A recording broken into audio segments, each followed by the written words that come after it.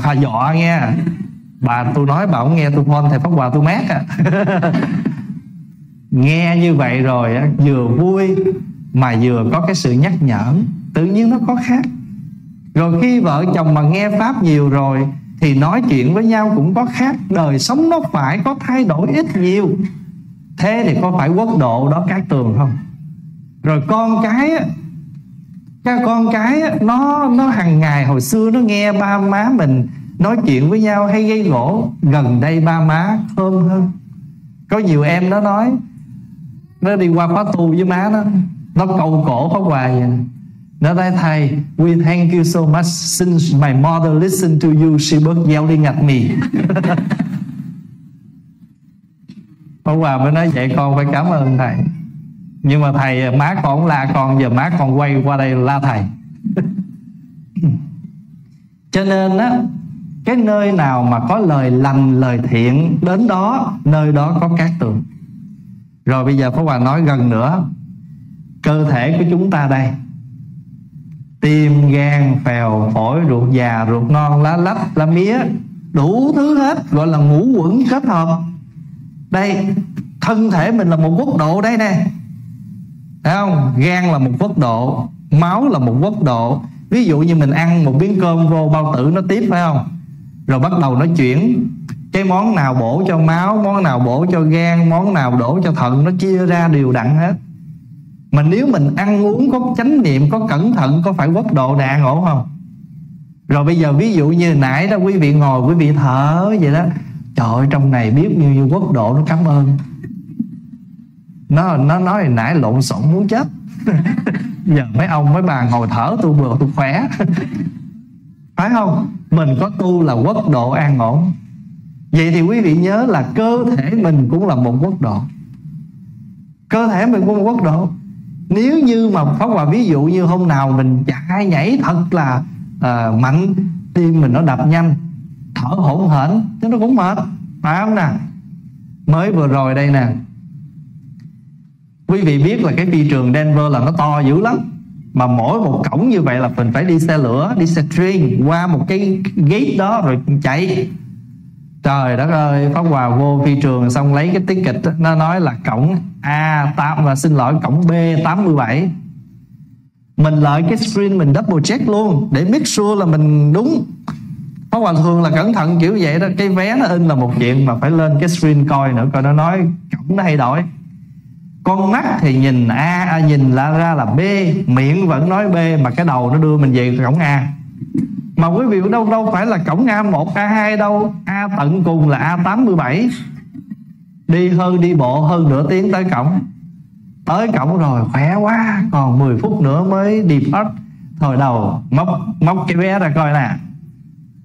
A 87 mô Phật mình đang ở B bắt đầu kéo áo tràng lên. Chạy. Mà lúc đó nghĩa là nghĩa là mình chạy chối chết luôn. Hồi nãy vô là nó mệt quá chừng. Mua một chai nước cam bỏ vô túi, định uống mà tới hồi giật mình là thấy còn có 15 phút nữa là máy bay cất cánh mà mình còn đang ở cổng này. Nhét chai nước nước cam vô lại. Chạy tới cổng gặp đưa cái vé cho cái bà đó mà hai mắt mình trợn bả là mình thở. Lúc đó là thở là thở ra khói luôn á. Thì thì lúc đó mình lên máy bay, mình nói nãy giờ mình quốc độ bất an. Quốc độ bất an là tại vì mình ẩu tả. Thì pháp hòa thưa như vậy để đại chúng thấy á, cái gì gọi là quốc độ? Quốc độ nó có đại quốc độ, trung quốc độ, tiểu quốc độ. Ví dụ đại quốc độ là city này trung quốc độ là gia đình mình, tiểu quốc độ là mỗi con người ta đây. Mà nếu mỗi con người ta đây bình an thì có phải xung quanh cũng an theo không? Cho nên ai cũng có quốc độ của mình. Vì vậy mà có một lần đó, có một cái người đệ tử đi về thăm người thầy. Ông thầy nói, ngươi mới từ đâu tới? Nói dạ con từ ở bên Georgia tới. Nó ta nghe nói Georgia ồn ào lắm, phải không? Cái thì cái thì người đệ tử nói dạ quốc độ con bình an ông thầy nó khá cho mi.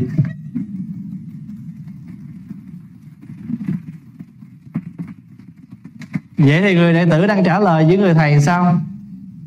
Ở ngoài Georgia, rất là ồn ào, nhưng mà tâm con bình an.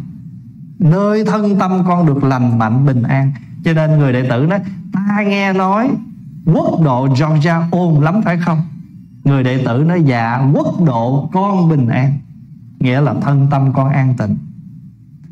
Vậy thì nơi nào có lành, có thiện, thì nơi đó quốc độ bình an. Pháp Hòa nói nhiều khi um, mình ở nhà tụng kinh cũng vậy. Để mặc áo tràng lên, nhiều khi ông chồng không có tụng kinh rồi nha. Ông đang coi tivi vậy đó, mà ông thấy bà vợ mà mặc cái áo tràng vô cái ông biết rồi đó, chuẩn bị là quốc độ của bà rồi đó. Cái là ông làm gì biết không? Ông tắt cái tivi đi ông tắt cái tivi xong ông còn dễ thương lắm. Ông đi rút cây nhang ra với con quẹt ông để sẵn. Bây giờ ông biết đánh bà vợ rồi. Lợi thấp nhang mà không có hột quẹt là phải dùng cây nhang. Là quốc độ của bà không ổn. Cho nên thôi để tôi support cái quốc độ của bà. Thật ra mình sống ở trong cái cõi đời này nếu mà mình để tâm một chút á, là mình sẽ thấy rằng có những người á người ta đang hộ trì cho mình nhiều lắm không nhỏ, không không nhiều thì chút chút chứ không phải là không đâu. Nhưng mà đôi khi mình chưa đủ chánh niệm để mình ghi nhận cái đó. Mình nghĩ phải làm cái gì thiệt bự á. Chứ còn thiệt sự ra, ví dụ như giờ mình gặp, mình mình đi đi làm về, mà ông ông chồng hay bà vợ hay con mình hỏi, bữa nay mẹ khỏe không? Mẹ đi làm mệt không? Tự nhiên mình cũng vui. Thấy người đó có quan tâm mình. Rồi mà thấy mình ngồi mệt quá, cái lợi rót cho ly nước cam, uống cho khỏe. Chút chút vậy thôi mà tự nhiên cuộc sống mình, cái quốc độ mình đã an ổn. Cho nên mình sống nên bảo hộ quốc độ cho nhau. Ví dụ như mình biết mình mà đi đâu mà khuya mà không về là thường hay có chuyện, thôi đi về sớm một chút cho cho nhà nó yên nhiều khi mình đi vui quốc độ mình và ở quốc độ nhà đang lo. Rồi về nhà cái ông nó mở bà cái người đó nói một hai câu cái mình nói quạo cái hai quốc độ đánh lộn. À, thì mấy đứa nhỏ ngồi trong phòng nó trời ơi 11 giờ mà hai nước còn chiến tranh. Phải khổ không? Cho nên, nơi nào có lời lành, lời thiện thì nơi đó quốc độ các tường. Vậy thứ nhất phải không? Và cái thứ hai là gì? Phụ thần hòa lạc. Nếu mà nói theo đất nước á, là ở nơi đó đó, từ vua cho tới thần dân đều hòa thuận vui vẻ thật sự ra một cái một cái đất nước đó, một cái cung, một cái triều đại đó mà thần với vua mà có thể có thể kết hợp nói chuyện với nhau nó khác lắm. Bây giờ trong nhà mình cũng vậy. Là quý vị thấy không? Giống như mình có một bàn tay vậy đó. Một bàn tay năm ngón. Mà một ngón nào đau á, thì ngón kia nó cũng khó chịu. Hay ngược lại, cái tay bên này đau là tự thể, cái tay này nó bó là liền. Nó không bỏ nhau cái chân mà đau là tay này nó đưa xuống liền cái đầu mà đau là tay này nó đưa lên liền. Cho nên cái bàn tay năm ngón em vẫn kêu xa nó kêu xa ở cái chỗ là luôn luôn nó biết gia tâm. Cho nên tại sao mà hình ảnh chư Phật luôn dùng bàn tay bất ấn? Có khi ấn này, có khi ấn này, có khi ấn này, có khi ấn này. Bởi vì tất cả mọi sự điều hòa mọi sự chăm sóc, mọi sự dưỡng nuôi không ngoài bàn tay. Quý vị để ý coi. Lấy nước uống tay lấy thuốc đưa tay. Người đó khổ quá, đưa tay vô, dỗ về. Thân mật, câu vai. Thương xót, dò đầu. Bàn tay đó. Bàn tay mình đưa tới đâu? Là nơi đó có hạnh phúc có an hòa. Cho nên phật dùng bàn tay bắt ấn quý vị thấy tượng phật đưa tay vậy nè. Đây là ban phước. Còn nếu mà phật đưa ngang vậy nè, nghĩa là gì? Vô úy còn phật bắt quan âm bắt ấn này là cát tường. Còn nếu mà bắt ấn này, good, ok. Không còn mình bắt cái ấn này, you number one. Ấn hết. Ấn là gì? Ấn là cái biểu tượng mà ấn là cái biểu tượng lưu xuất từ tâm. Ví dụ như mình nói chuyện á, mình phải quơ tay, quơ chân để làm chi biểu lộ. Tôi nhẹ. Nhưng mà có nhiều khi mình giận quá, nó cũng có cái biểu lộ của cái ấn đó. Mày có chừng tao, nghe không? Nhưng mình thương ai là bàn tay nó khác. Cho nên á, ở trong một cái gia đình với nhau bàn tay của chúng ta, tại sao đức quan âm có ngàn cánh tay? Đức Chủng đề có 18 cánh tay. Không có bồ tát nào mà dị hợm vậy hết. Bồ tát gì một cái ngàn tay? Tôi thấy là tôi chạy rồi. Chứ là làm sao vậy? Nhưng mà đó là biểu tượng. Thật ra tất cả đều chỉ là hai tay bình thường thôi. Nhưng nếu mà cái tâm từ bi lưu xuất không phải chỉ 18 cánh tay mà ngàn tay đó. Quý vị thấy ngày hôm nay nè. Ngày hôm nay nè. Buổi chiều này nè. Hai tay sao làm nói. Hai tay làm có được. Lúc đó hàng trăm cánh tay đưa ra. Có phải vậy không? Đó. Mà ngồi đây là gì? Phụ thần hòa lạc. Làm mà đâu có mệt. Có những vị lái xe 6 tiếng mà có khổ không? Không khổ. Ngồi ở đây nãy giờ mà có mệt không? Mệt đáng chịu.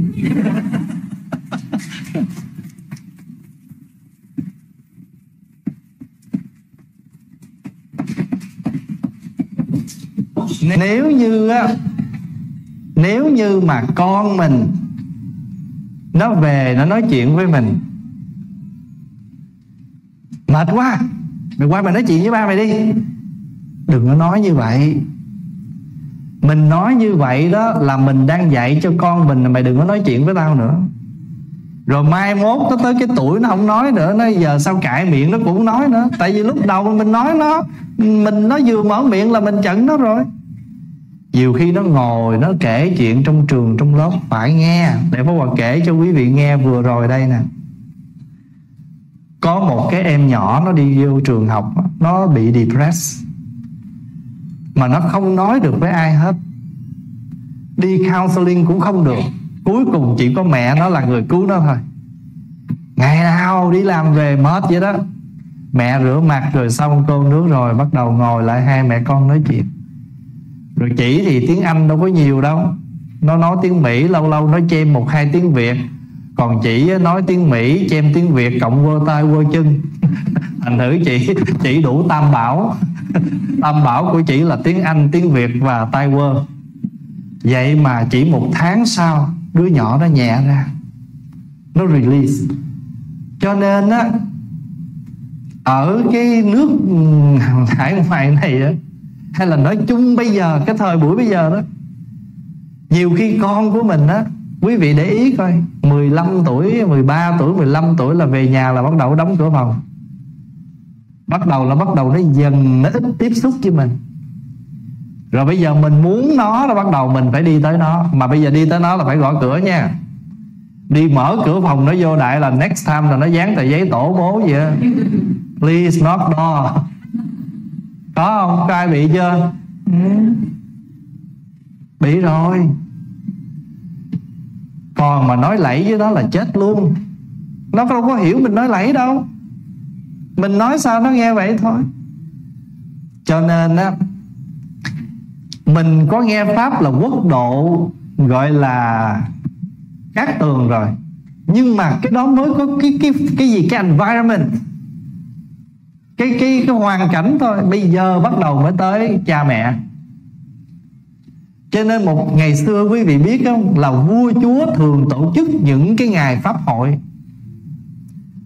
Ngày xưa cái thời đường á, ở trung hoa rất là thịnh. Thì vua đường á, mỗi ba năm đi tới chùa pháp môn, đảnh lễ xá lợi phật, cung thỉnh xá lợi phật về trường an, về hoàng cung cho quan liêu các vị trong triều đình chiêm bái xá lợi. Mà cái chỗ để xá lợi rất là trông như một cái hầm hang vậy. Vua phải đích thân quỳ xuống, rồi bò vô trong cái đó cung thỉnh xá lợi ra. Mà khi đi như vậy là tổ chức hai đoàn xe. Một đoàn chở xá lợi giả, một đoàn chở xá lợi thật, bởi vì người ta sợ đánh cướp. Khi triều đại nhà đường đi tới sự suy sụp. Người ta mang tất cả xá lợi và đồ quý chôn ở trong cái hầm đó, rồi khắc lên tổng cộng gần hai, hơn 200 món đồ ở trong cái cái cái thập động đó. Đóng cửa lại, quý vị biết, suốt hơn một ngàn năm không ai biết ở dưới đó là chứa một bảo vật. Đến năm 1985 do một cơn ngập lụt, cái tháp bị sập thì khi cái tháp nó sập á, người ta mới tổ chức trùng tu cái tháp. Thì không ngờ khi gỡ dựng đưa cái tháp lên phát hiện ở dưới đó là một tầng hầm để lóng tay của Đức Phật. Và những cái những cái bảo vật đó mà ghi lại đầy đủ hết. Và trong đó có hai chiếc xá lợi một chiếc giả một chiếc thật. Và nhìn như thế nào để biết chiếc đó là giả? Bởi vì cái xương á, lâu năm á, nó bị nứt một cái đường. Người ta phục chế bằng nhựa cũng y như vậy cũng nứt như vậy nhưng mà cái đường nứt rất là thẳng giống như lấy trong khi đổ nhựa còn mềm á lấy cái, cái dao sắn vô đó một cái rất là ngay thẳng. Khi Pháp Hòa qua đó các vị mới đố Pháp Hòa nhìn sao biết xá lợi thật xá lợi giả? Pháp Hòa mới nói đây xá lợi giả nè tại vì cái này nó rất là ngay còn tôi nhìn một đường nứt rất là tự nhiên ở một cái lóng tay là tôi biết đây là xá lợi giả à, xá lợi. Ở Việt Nam mình cũng vậy. Vua cái thời mà Phật giáo thịnh là Lý Trần. Các vua đều tổ chức. Cho nên nếu mà vua chúa còn tổ chức pháp hội mà thưa đại chúng những ngôi chùa mà lớn phải vua xây thôi chứ người thường tiền đâu thấy những ngôi chùa lớn đều phải là ngân quỹ của của chính là của của vua chúa mới có thể xây dựng được. Cho nên á, khi mà nơi nào cái chữ giảng kinh ở đây á, nghĩa là chúng ta còn nghe pháp và chúng ta còn hành pháp. Bởi vì nếu giảng, mình nghe giảng mình không ứng dụng thì không thể nào có phụ thần hòa lạc, không thể nào có quốc độ các tường. Trong kinh đức phật nói á có những và những hạng người quý nè, một nè, người nói pháp nè. Hai người nghe pháp nè. Ba người hiểu pháp nè. Bốn người ứng pháp nè. Năm người biết ơn. Hay là người gọi là một bậc giác ngộ xuất thế. Quý vị thấy bây giờ nghe pháp đông không? Hiểu pháp nhiều không? Sụp xuống một chút. Hành pháp. Cho nên người nói là một, cái quý rồi nhưng mà người nghe nó có ba chừng bậc để quý. Nghe hiểu làm. Thành nữa mình nghe là quý rồi. Bởi vì sao? Bởi vì dù mình chưa hiểu nhưng mà ít nhất tôi cũng thanh ư nhĩ một nó cũng thanh lọc được cái thấy nghe của mình. Nhưng mà rồi nếu mình hiểu được điều đó rồi càng quý. Mà mình ứng dụng được nó thì càng rất là quý. À, cho nên khi mình ứng dụng được thì sao? Phụ thần hòa lạc. Gia đình mình bắt đầu có sự thay đổi. Vợ chồng nói chuyện có khác đi. Cho nên nếu như vợ chồng có nghe pháp, có hiểu pháp, có hành pháp, thì phải nhớ là nếu như vợ chồng mình chưa làm được việc đó thì nên ráng làm. Làm cho được, để nó thực hiện được cái thứ nhì gọi là phụ thần hòa lạc. Hay nói cách khác là vợ chồng gia đình cùng vui mà quý vị để ý coi, không phải riêng gia đình đâu, ngay trong chùa cũng vậy à. Trong chùa cũng vậy. Trong chùa mà nếu mà huynh đệ phật tử mà đi tới chùa làm công quả với nhau, mà vui vẻ nói với nhau những lời ái ngữ đó, cái chùa nó nó yên. Ông thầy trụ trì đỡ khổ, đỡ mệt. Còn nếu như mà phật tử huynh đệ với nhau mà về chùa làm công quả mà không vui với nhau, móc méo với nhau từng câu, từng chữ, ông thầy ông nhức đầu dữ lắm nhiều khi ông không dám xuống bếp nữa. Ông ở trên luôn cho rồi ông chứng niết bàn luôn chứ không dám xuống. Cho nên nếu mình thương thầy trụ trì, mình thương chùa, mình thương đạo mà mình hay nói là tôi muốn cho cái chùa này nó phát triển, thì hãy sửa đi những cái tánh đó của mình. Để cho phụ thần hòa lạc, để cho quốc độ các tường. Quốc độ là cái environment. Phụ thần là người người với nhau. Thế thôi thành thử ra đức phật nói trong kinh rất là rõ. Người nói pháp quý, người nghe pháp quý, người hiểu pháp quý, người hành pháp quý. Phải không? Quý lắm. Thôi, bây giờ nghe rồi là được cái bước rồi, phải không? Ráng hiểu một chút. Hiểu xong rồi ứng một chút là tự nhiên yên. Mà nếu mà gia đình nào mà yên ổn nghe ông thầy cũng đúng đỡ xử. Cái thứ ba là quốc dân phú thọ ích phú là gì? Giàu. Thọ là gì? Sống dai. Nếu như mà một cái gia đình mà hiểu đạo biết tu tập thì tự nhiên cái gia đình đó đó đời sống đó, nếu mà nói về đời sống tuổi thọ đó ít buồn ít khổ thì ít bệnh ít não ít bệnh ít não thì sống lâu còn nếu mà nói gia đình đó mà gây gỗ cả ngày thì sao? Dễ đi đến chỗ chấm dứt hạnh phúc gia đình. Đó, thọ mạng hạnh phúc nó ngắn quá. Chữ thọ đó hai ý nghĩa. Thọ là do cái cái cái cái relationship, cái cái kết nối giữa hạnh gia đình đó dài hay ngắn. Ừ, vợ chồng sống với nhau được bao năm tùy theo cái sự tu tập của mình. Còn nếu như mà nói rằng mỗi người á, rầu khổ nhiều á dễ sanh bệnh lắm. Mà nhất là ôm cái khối uất hận khổ đau trong lòng, bệnh càng nhiều, tuổi thọ càng giảm xuống. Cho nên nếu mình thương người thân mình, thì nên làm cho họ hạnh phúc, họ vui vẻ. Nhất là họ đang bệnh, mình nên biết được căn bệnh của họ và làm, đừng có làm cho họ khổ buồn nhiều, thì cái tuổi thọ của họ nó ngắn hơn. Cái đó là nói về thọ, còn nói về phú là giàu. Nếu như cả gia đình mà sống mà biết, chánh niệm, biết tu tập, giảm những cái gì không cần thiết, tự nhiên là coi dư à. Ví dụ giờ mạnh chồng chồng chơi bài, mạnh vợ vợ chơi bài thì có phải là thiếu thốn không? Mà hai gia đình cùng phát, hai vợ chồng cùng phát tâm hết, thôi tôi với bà bây giờ chơi nhiêu đủ rồi, mà thấy cũng chẳng có lợi ích gì. Tốn kém hao tiền của mình cực khổ, thôi bây giờ quyết định phát tâm, không chơi nữa, dư không? À, rồi bây giờ ông chồng á, hồi xưa hút ngày hai gói thuốc giờ giảm xuống còn gói bớt được gói. Rồi giảm xuống còn nữa đến khi nào bỏ luôn thuốc cái dư tiền. Thành thử ra rồi bà vợ do ông chồng đi hoài buồn quá shopping cũng tốn kém. Có qua ví dụ vậy thôi.